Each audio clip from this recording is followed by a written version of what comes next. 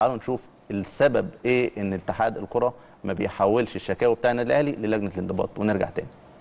مجلس إدارة النادي الأهلي عمل 10 بلاغات. اتحاد الكرة هل هيناقش القصة دي؟ فين ردودهم؟ فين لجنة الانضباط؟ أنت لو حصل حاجة زي دي واتفتحت أصلا في الاتحاد يمشي. الاتحاد أضعف من إن هو يناقش حاجة زي دي. لا لا صعب الموضوع. هم اللي بيخافوا من الصوت العالي.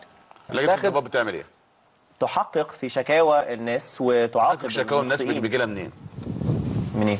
من اتحاد الكورة أيوه ما اتحاد الكره مبعوت له شكوى هل حولها؟ أنا بسأل بقى ليه ما تحولش حولهاش. ما. ولا أي حاجة هتحصل ليه؟ ولا أي حاجة هتحصل إن هم قالوا قالوا. قالوا بالنص آه.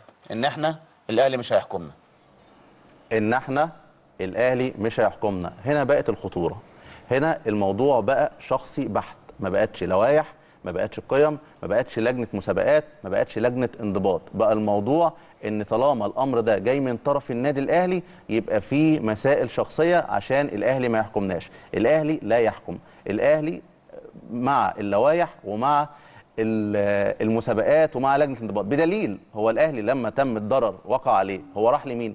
هو راح لك انت بصفتك انت الم- المنظم للمسابقة بصفتك انت الحاكم على الدوري المصري. فهو اللي جاي لك انت بيقول لك ده انت اللي بتحكم مش الأهلي بيحكم أو اللوائح والقوانين اللي بتحكم. فكرة إنك ترفض اللوائح والقوانين إنها تحكم هي فكرة بصراحة بتعرضنا لمزيد من الضغط وما زال في ظل اللي بيحصل ده ما زال مجلس إدارة النادي الأهلي بجميع أفراده وعلى رأسهم الكابتن محمود خطيب ملتزم تماما بمزيد من ضبط النفس.